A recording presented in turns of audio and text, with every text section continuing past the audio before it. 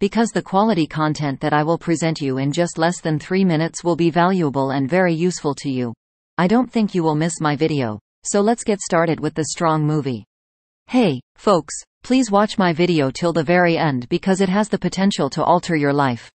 Because an excessive consumption of oily or high-fat foods may make certain illnesses worse. It may be good for those who have certain health concerns to avoid eating foods that are high in fat or oil contents. Before you begin watching the video, please make sure to click the bell button, like, share, and subscribe to the channel so that you may watch more videos that are interesting to you. These are some of the health issues that are discussed in my movie, along with brief explanations, for which reducing the amount of greasy foods you consume may be recommended. 1. Cardiovascular diseases. Explanation. A high consumption of saturated and trans fats, which are present in oily foods, can contribute to raised levels of LDL cholesterol, also known as bad cholesterol, and triglycerides, which in turn increases the risk of cardiovascular diseases such as coronary artery disease, atherosclerosis, and heart disease.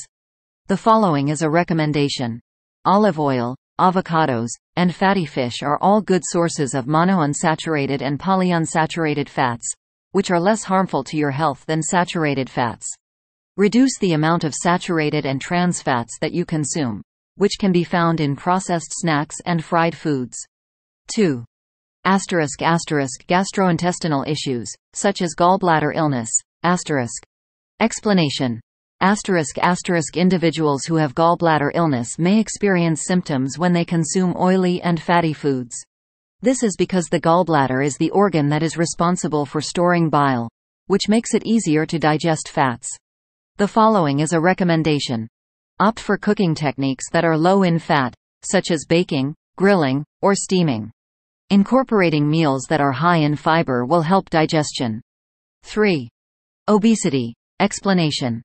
Oily foods are often high in calories, and consuming an excessive amount of calories might be a contributing factor in increasing the risk of obesity. Obesity is a risk factor for a number of different health conditions, including diabetes and cardiovascular disorders. The following is a recommendation.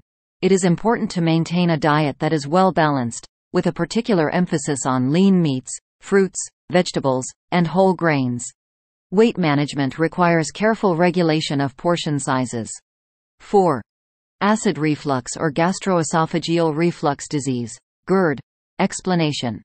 Consuming foods that are high in fat can relax the lower esophageal sphincter, which in turn allows stomach acid to flow back into the esophagus, which in turn makes acid reflux symptoms worse. The following is a recommendation.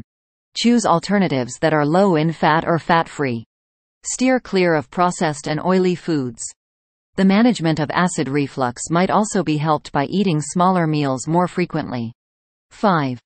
Individuals who have type 2 diabetes may have a worsening of their ability to control their blood sugar levels and development of insulin resistance if they consume an excessive amount of greasy foods. The following is a recommendation. Make sure to consume foods that are high in fiber, complex carbs, and healthy fats. To assist in the management of blood sugar levels, it is important to keep a balanced diet and monitor portion sizes. 6. Liver disease. Explanation.